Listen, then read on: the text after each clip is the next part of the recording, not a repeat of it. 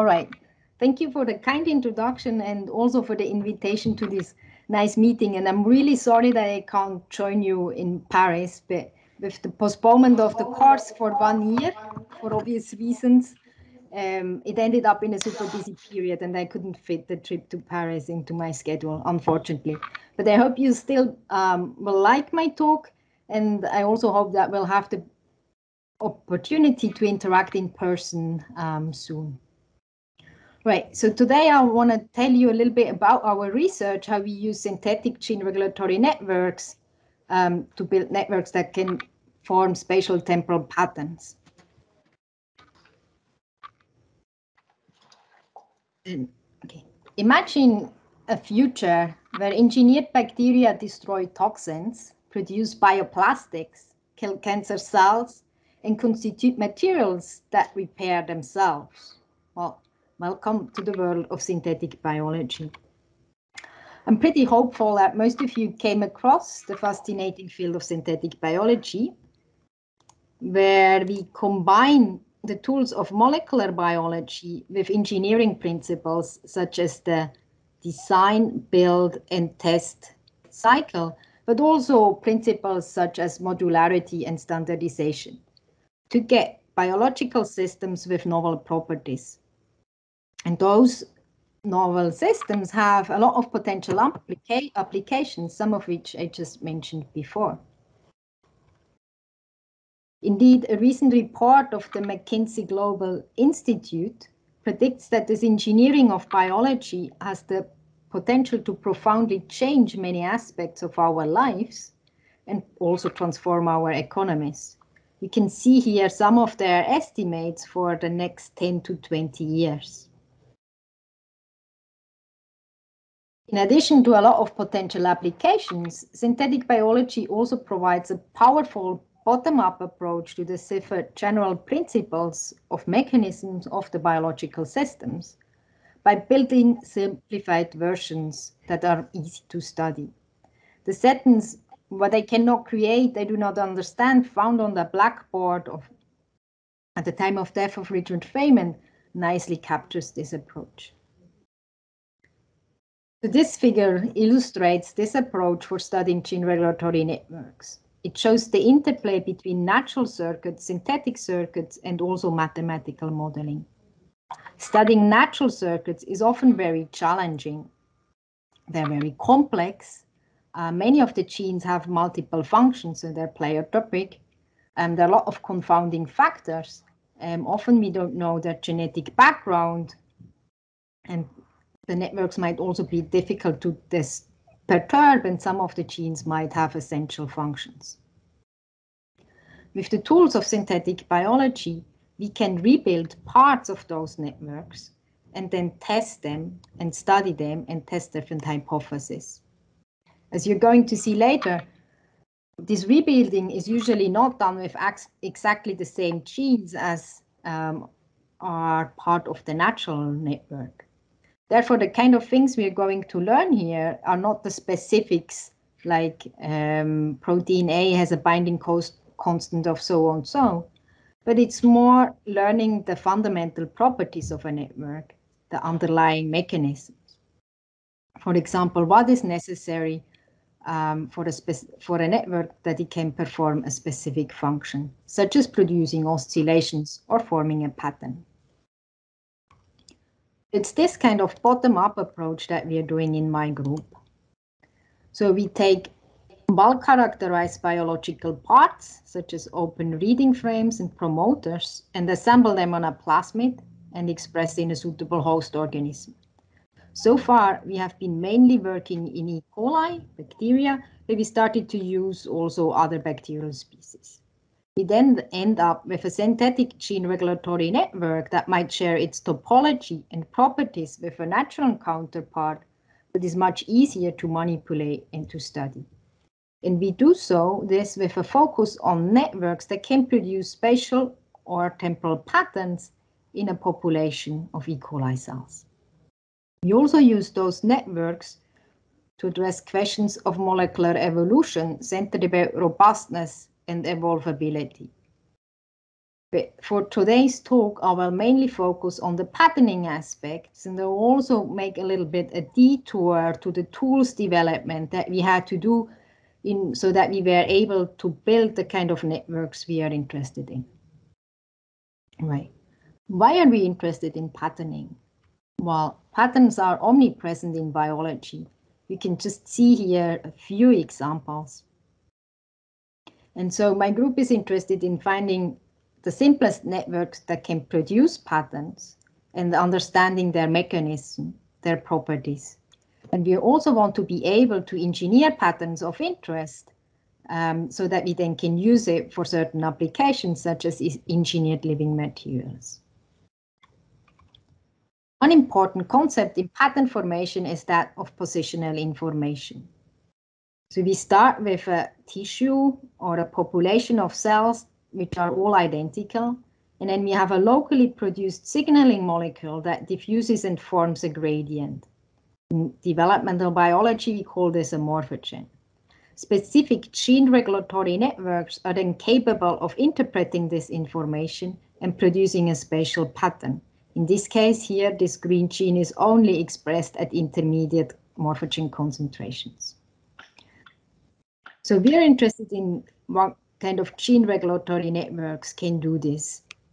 And so back in my postdoc, we started with a computational approach where we built a model um, and focused on networks with just three nodes and asked the questions, what kind of networks with those three nodes can take the input of a morphogen concentration gradient and produce the output of what we call a single stripe of gene expression, meaning when we look here at this green gene, it's only highly expressed at intermediate concentrations, but it's off at low and high concentrations of the input.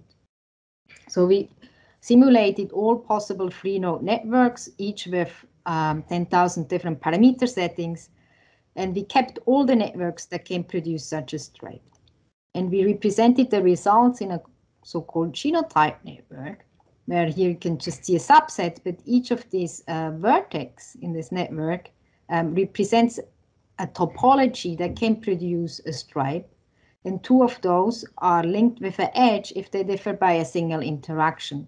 So for example, the difference between this network and this network is the addition of this interaction. So we, this is only a subset. Indeed, we got over 100 networks that can do this job, and they're shown here. Additionally, so again, here each vertex represents a topology that can form a stripe. And we ordered them according complexity. So the most complex networks are at the top and the least ones are at the bottom. So what was striking to us is that we basically got four groups and at the bottom, the simplest networks corresponded to the so-called incoherent feed forward loops I1 to I4, and they had been described previously. And so they represent four different dynamical ways, four different mechanisms, how you can build up a stripe. So we wanted to study this in more detail also now in the lab. So we came up with following setup. Our input was the sugar arabinose that was basically our morphogen analog. And when there were positive interactions to encode, we would express in our bacteria the phage polymerase is SP6 or T7, that would then recognize the downstream promoter and activate transcription. And for negative interactions, we would use the transcriptional repressors LAC-I or TEDAR. And our readout was on the green gene here, um, GFP. Using those components, indeed, it was possible to put together those four networks with these topologies so that in arabinose concentration gradients, they would form a stripe of green fluorescence. When we took those cells and plated them out on an agar plate quite densely, in the middle of the agar plate, we put a paper disc, and on that paper disc, we dropped some arabinose. So the arabinose would naturally diffuse across the plate and form a gradient. We observed these rings of fluorescence. So we have then done quite a bit of more uh, characterization of those networks, both experimentally and computationally. This is rather old work, so I don't want to go more into details, but I wanted to kind of use this as motivation for our next step. Also, we use those networks um, to address evolutionary questions. So we have a paper where we study constraints in evolution, and we are currently writing something up where we are studying epistasis. But what we wanted to do next is kind of explore a bit the more complex networks. So for so far, we've looked at the simplest ones. Here again, um, a zoom in for some of those networks. The problem was with the setup that I um, that we started with, with using Lacaille, Tétart, um, we were rather restricted in the kind of networks we could build, and it was really difficult to get a network like this. Expressing those protein-based transcription factors is metabolically costly for our E. coli cells, and then if we stress them too much, they wouldn't behave anymore predictably. Um, also, the sequences of the transcription factors are rather long, so having many of those um, requires using multiple plasmids, and again, that limited us in circuit size and complexity. So we were using for an alternative solution, and we found it in CRISPR interference. So I would like to point out that from now on, most of the experiment or the next few slides, the experimental work has been carried out by Javier Santos Moreno, who was a postdoc in my group uh, and recently left us to do a second postdoc in the group of Marc Goel in Barcelona. So we started using CRISPR interference or CRISPR-I. In CRISPR-I, we use a single guide RNA that can bind to a catalytically version of Cas9, dCas9, and together, um, so the single guide RNA, we direct it downstream of a promoter. And then the complex binds here and inhibits roadblocks progression of the RNA polymerase, so we have inhibition of transcription. For us as synthetic biologists, um, this has a number of advantages compared to using protein-based transcription factors. So while there is initially some cost in expressing this dCas9 protein, um, expressing additional single guide RNA molecules is really not costly for the cell. So we have a lower burden they're also super short, so we can have many of them on a single plasmid. Um, it's highly programmable, very easy to design, and there is basically an unlimited number of orthogonal versions of single guide RNAs available. However, um, when we started the project, it wasn't sure whether we can use this to build the more complex networks we are interested in. Indeed, in literature, there were um, uh, potential limitations pointed out. One of them was the lack of corporativity. So while natural transcription factors are often corporative because they bind as multimers, or have multiple binding sites, And CRISPR is non-corporative. And this corporativity provides a nonlinearity that is important for many circuits to work, such as dynamic and multi-stable circuits. Another potential drawback is the slow off dynamics. So once dCas9 is bound, it actually stays on the DNA very long and usually only displayed when we have DNA replication. And so it wasn't sure um, whether those limitations would prevent CRISPR-I to be widely used in synthetic circuits. If you look at the timeline of, of um, synthetic biology, so the field was really kind of kick-started in the year 2000, where there was um, where the famous publications of a network that is called the toggle switch, that is a bistable network, and the network that is called the repressilator is a network that can produce oscillations in time. Then we had in 2013, we had the invention of CRISPR-I, and it had been used to build synthetic circuits, but only um, for kind of endpoint circuits or kind of like logic gates, but nothing dynamic or multi-stable. I guess I wouldn't be talking about to you about this today if it hadn't worked. But we think some of the design features we decided early on in the project were important to get reliable results.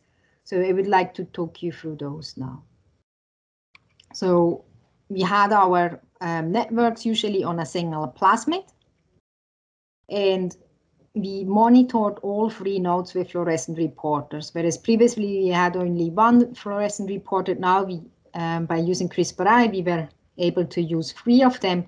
That's very useful for model fitting and also fine tuning and debunking the network. The individual nodes were isolated by terminators and spacers. And also we have we have um, our constructs as operon. So we have a promoter here. And then when we have transcription, we have, for example, a single guide RNA on the same mRNA as our GFP, but we put here a recognition site for an enzyme that is called CSY4, which is an RNA cutting enzyme. So after transcription, we will have um, cut, cutting here. And so then the single guide RNA can go and bind dCas9 and the GFP can be translated. And so this avoids context-dependent effects. Also, we have degradation tags on our fluorescent reporters so that we can also observe dynamic events. And again, we realized that if we put the same um, degradation tag on all the proteins, we have context dependent, we have context effects because they basically then compete for the degradation. So we added different degradation tags or focal ones. And in addition, we have a plasmid that codes for our dCas9 protein and our CSY4 enzyme. And we also came up with a fast and modular cloning strategy so that we can very quickly build many of our circuits. Right, so then we were ready to start testing our CRISPR circuits. And so we started with a very simple setup where we used arabinose to induce the expression of a single guide RNA that would then um, inhibit transcription of a downstream promoter. So we took a set of published single guide RNAs and indeed observed about four um, 20-fold repression. And we can manipulate the strength of the repression by truncating the guide RNA by four nucleotides, so we get a weaker repression. Importantly, the effect was dose dependent, so the more arabinose we add, um, the less GFP we observe, meaning we have more single guide RNA we produce and we observe more repression. So this was good. So then we were ready to start um, testing one of our stripe forming circuits and we were focusing on this so-called I2 topology. So how this is supposed to form a stripe? Well, if our input is still the arabinose, then with increasing arabinose, we expect an increase of this orange um, node in expression. The blue node is usually on unless it gets repressed by the orange one, so we expect a decrease. And the green node is repressed both by orange and blue, so we only expect a high expression of the green node at intermediate concentrations where both blue and orange are not too high, and that's how we get this stripe. So we use CRISPR-I to put a topology together with this logic. And indeed, after some initial fine-tuning, we got a network that would behave as we had predicted. And we got a nice um, stripe. And if we plate those cells now on an agar plate, we still have a ring here, but we also see the other two colors. This is very nice. And now we reduced the burden so we can go more complex. So one thing, for example, we did, we did is we added two of those um, stripe forming networks into the same cells. They're orthogonal. And we have now one reporter each. And now our cells form um, a green stripe as well as a blue stripe at the same time. And since then, we also built um, many of the networks that we were interested in. This is just an overview of of some of the networks we have built, we went up to six interactions between the three nodes and, and we can now study their properties. But I wouldn't like to go um, into more details for this. I would like to show you what else we have done with the CRISPR-I circuits. So we've built this I2 topology. So then um, we realized that this is very similar to the famous repressor topology, which is a network that can produce temporal oscillations. Indeed, it's just um, the orientation of one of the interactions that's different. So my postdoc Javier put together also a network with this repressilator topology. And as you can see here, when we transformed our cells with this plasmid and watch the cells in a microfluidic device, um, we can see nice oscillations. And we call this network um, the CRISPR later. And so if we um, take snapshots of this movie that I should show you and, and arrange them in the timeline, we get this kymograph. And we also characterized or quantified the fluorescence of this um, small chambers in the microfluidic device, and, and we can clearly see oscillations. So the movie was obviously sped up a lot. Um, we have, um, so the period is about 10 to 12 hours, and we have done oscillations for up to three days. What's quite nice also is that apparently um, the cells synchronize, uh, oscillate in synchrony, even though we don't have any cell-cell communication.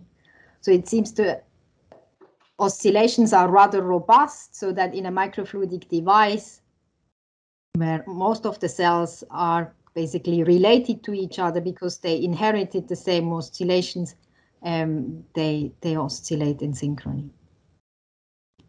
I'd also like to point out that we were the first ones to build CRISPR-I oscillator, but shortly after us, there were actually two other groups who used CRISPR-I to build um, synthetic oscillators the repressilator, with the repressilator topology. One nice thing with CRISPR-I is that it's actually very easy to interface with the host genome. So we have our um, oscillator on a plasmid, and if we would like to control a gene in the genome, we don't have to do any cloning in the genome itself, which would have, which would be the case for um, protein-based transcription factors. We would have to add a binding site. Here we can just add a single guide RNA that targets a gene of the genome. And we have done this as a proof of principle with the gene ROD-Z, which is a transmembrane protein. Um, and so a deletion of ROD-Z leads actually to a change in cell shape from a more um, long shape or rod to, to a round shape. And so we've built this um, oscillator targeting rod set. And as you hopefully can see here, that when the cells are red, they are more long, whereas where they're kind of green-blue, they are more round. You can see this also again in the snapshots. We go from more long cells to round cells to long cells, etc. Another nice feature of CRISPR-I is that it should be rather universal. So we have high hopes that it's not only working in E. coli, but also in other bacterial species. And we actually, um, in collaboration with our neighbors at UNIL, with uh, Anne-Stephanie Rueff and Jan-Willem Wenning, um, we transferred the CRISPR later into Streptococcus pneumonia, which is an opportunistic human pathogen. And there we wired it to control the capsule formation, um, which is the sugary coat around the bacteria. And this is an important or the major virulence factor in pneumococcus. And so you can see here um, a movie of those oscillations.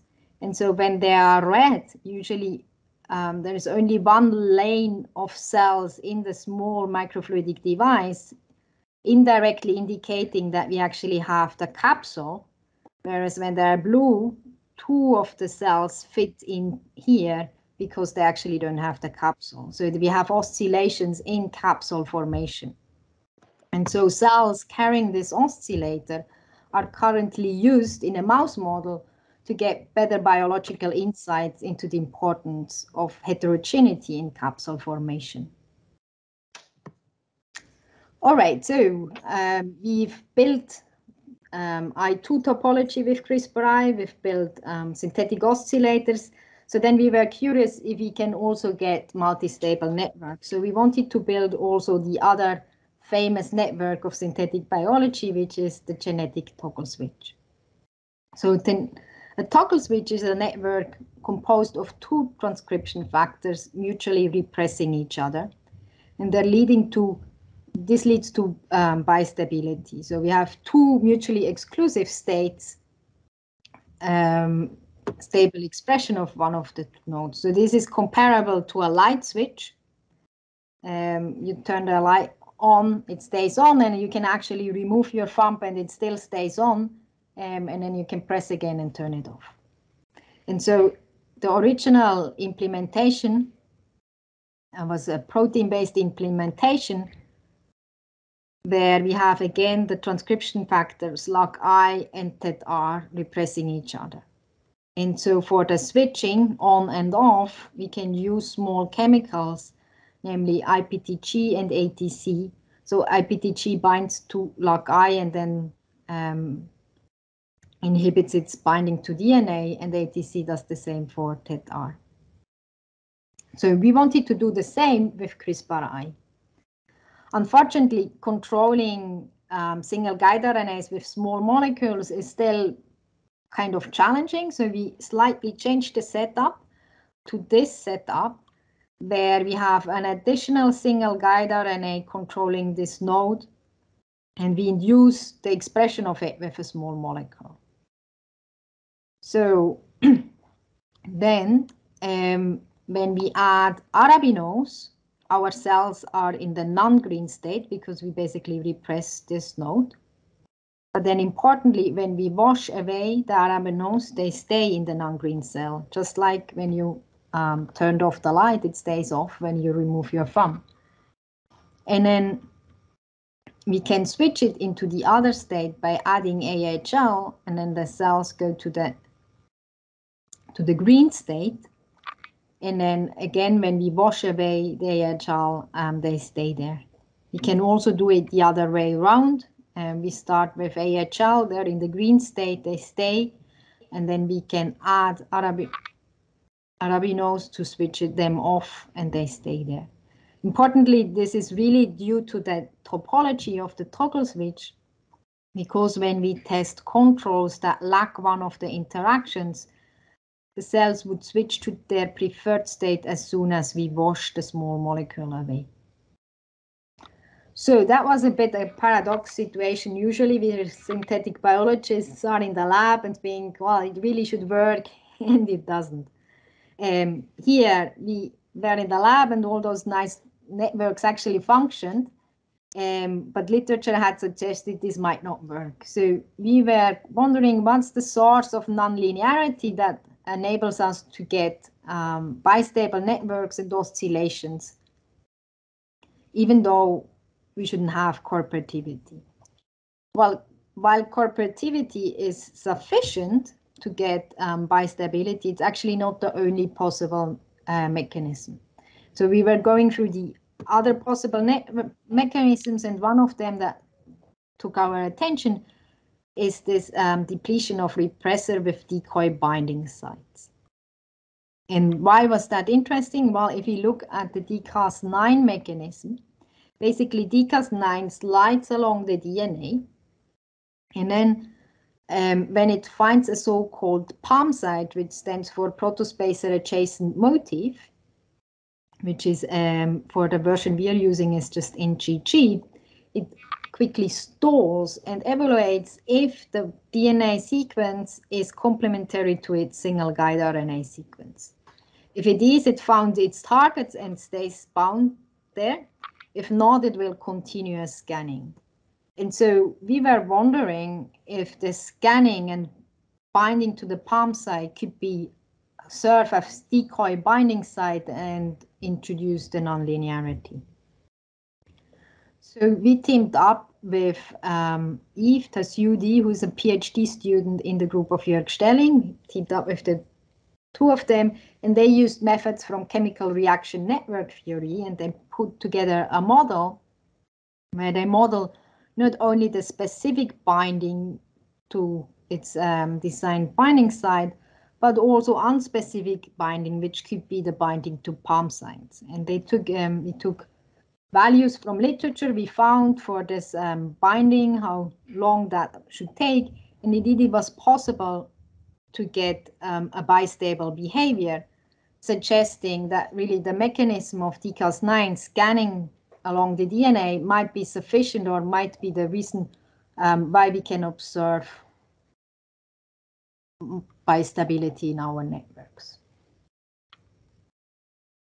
All right, as a take-home message, as a first one, uh, I hope I could show you that CRISPR is widely applicable to build synthetic circuits, and I've shown it for stripe forming circuits, um, for the oscillator, and also for the toggle switch.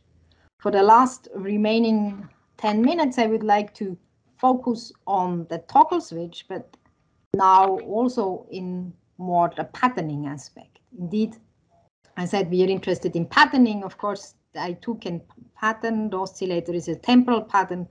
The toggle switch is maybe not obvious that it can also produce patterns, but it is. And it's actually a very common motif in many of the patterning, natural patterning networks. For example, in the neural tube gene network of the mouse or the gap gene network of Drosophila. And so while um, synthetic toggle switches had been built and studied quite extensively, um, we wanted to know how it behaves if we control one of the nodes with an inducible molecule like a morphogen that is present in a concentration gradient. And so just as a reminder again, um, the toggle switch is a bistable network and another important property is the hysteresis, which is um, it kind of be behaves different whether, whether depending on its previous state. So if you're looking here at the expression of the red node, we might need a certain amount of signal to switch to red, but if we come actually from here, we need another amount to switch back. All right. So we've done this work in parallel with the CRISPR-I study. So that's why we actually here working with a protein-based um, version, where as I already explained previously, we have LAC-I and TETR in each inhibiting each other. And we have fluorescent reporters mCherry and GFP. And we also have our um, morphogen analog, which is in this case AHL, which controls the expression of this red node. And we are controlling the strength of this interaction with the small molecule IPTG. So we start all our experiments either in the red state or in the green state by incubating them either in the presence of those small molecules or in the absence.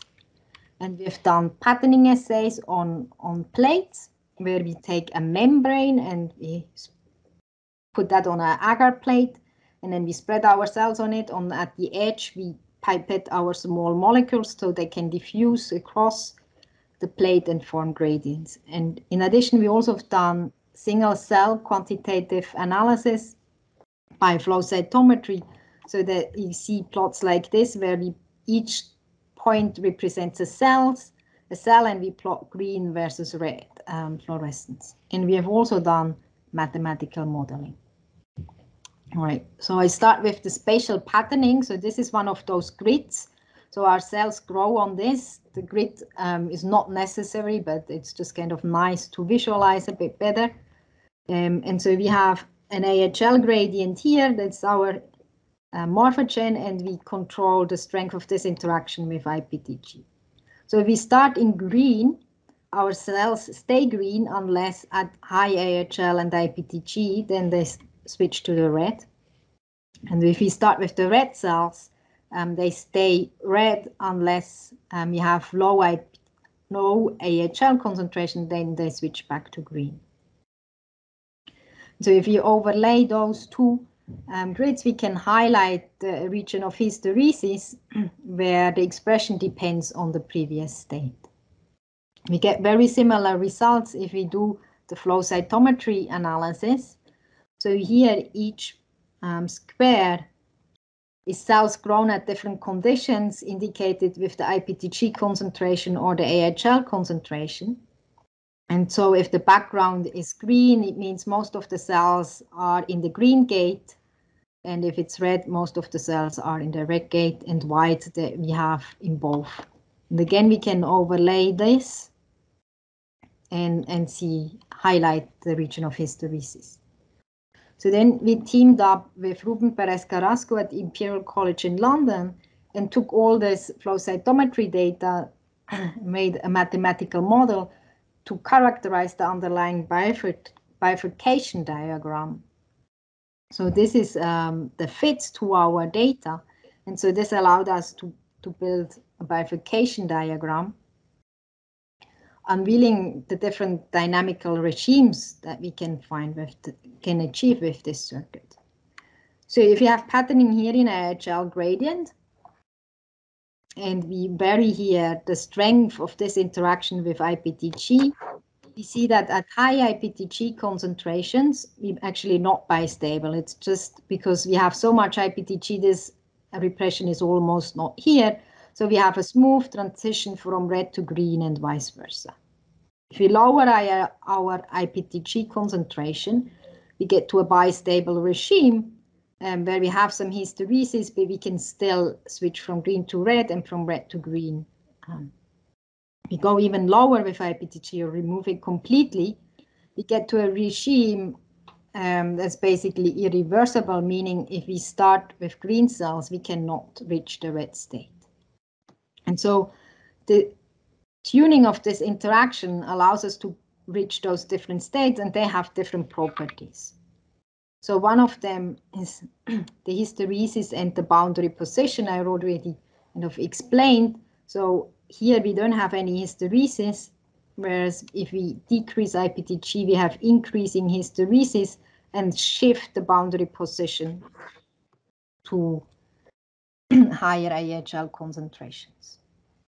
And we also see that on the quantification from the flow cytometry data, where we get to this down to this irreversible um, regime when we are starting in green, we cannot get red anymore. Related to that um, is also the boundary precision. Actually, in the regime where we don't have bistability, this sigmoidal regime, our boundary is um, not very sharp. So we get from red cells to, well, hopefully you can see it, dark cells to green cells, whereas in the bistable regime, the boundary is much sharper. Again, this is the quantification of the flow cytometry data where you see at intermediate IPTG concentration, we have the sharpest switch from red to green. And interestingly also is that in the sigmoidal regime, our population moves as a whole through a non-fluorescent state, whereas in this bimo bistable regime, we have bimodality where the cells um, are either green or, or red, but not non-fluorescent. And finally, um, IPTG also controls the transition timing. So patterning is much faster in this regime than when it's here in the bistable regime. Uh, my mathematical colleagues tell me that this phenomenon is called a critical slowing down because it's close to this saddle node um, bifurcation.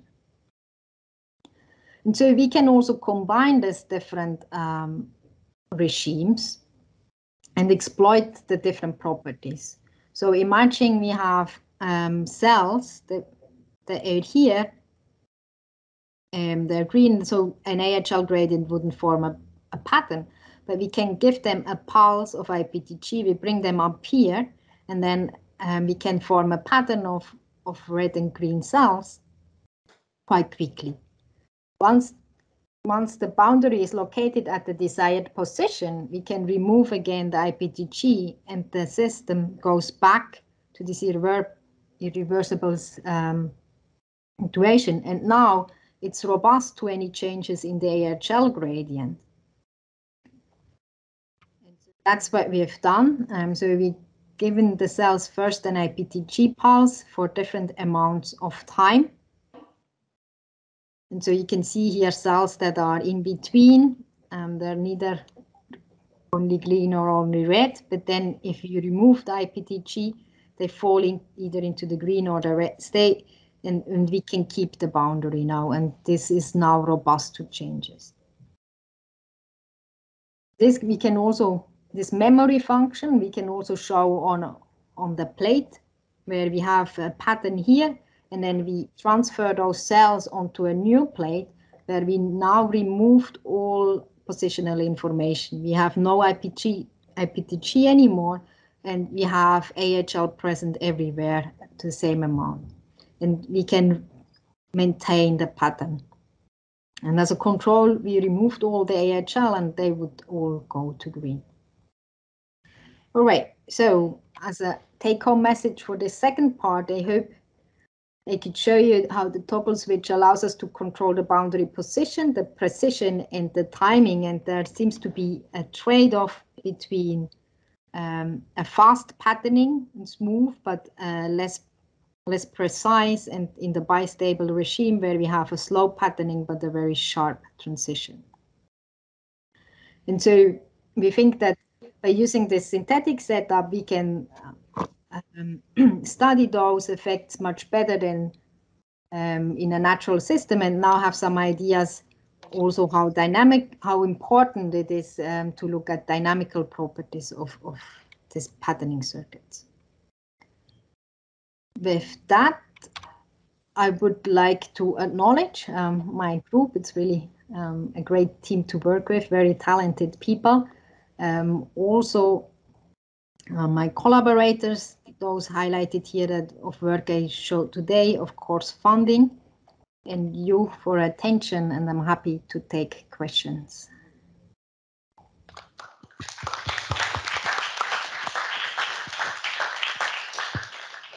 So there's a question from a remote attendee. So he said, it's Camilo Andino. He said, thanks for the nice talk. Just to clarify, in your grid essay, the cells at the different grid positions are not in contact with each other and do not exchange signals, right? Um, yes, um, so they're they're growing everywhere on this grid, but we don't have any active cell-cell communication because um, in this project they cannot produce AHL by themselves. So we provide the external positional information. We actually, since then, we have also worked a bit on, on a system, a reaction diffusion system where the cells can produce AHL, but um, that's, that's a different story. In this, in this case, um, there is no cell-cell signaling.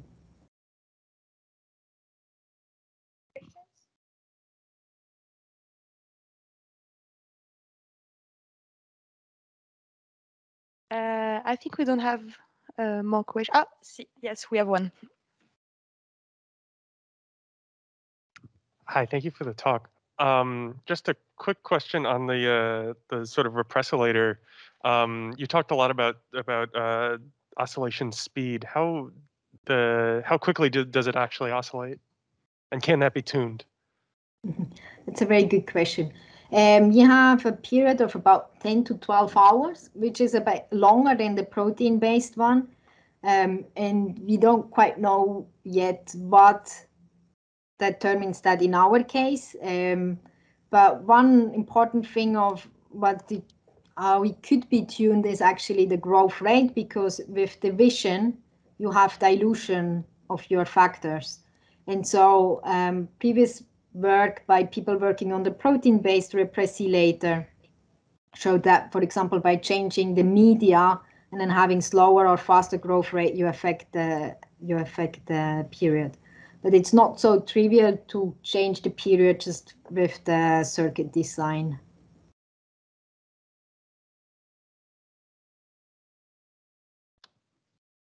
One more Yeah, I also have a question related to this. At some point, you showed uh, cells that were uh, oscillating uh, in synchrony, uh, but you said that that shows the robustness of the cycle because they don't talk to one another.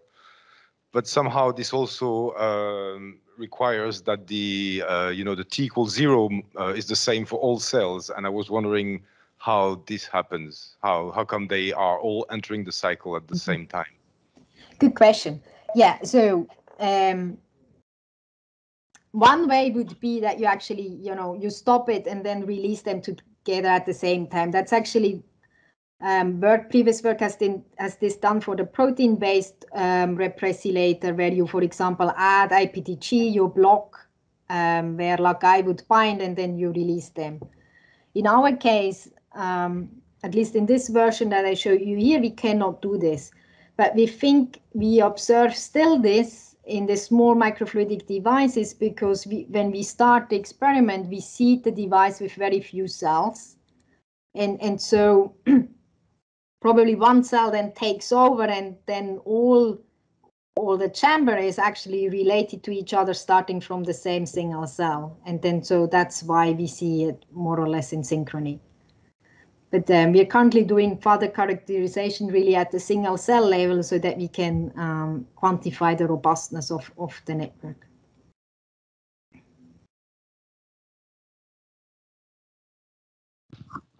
Okay, I think we don't have any more questions in the amphitheater.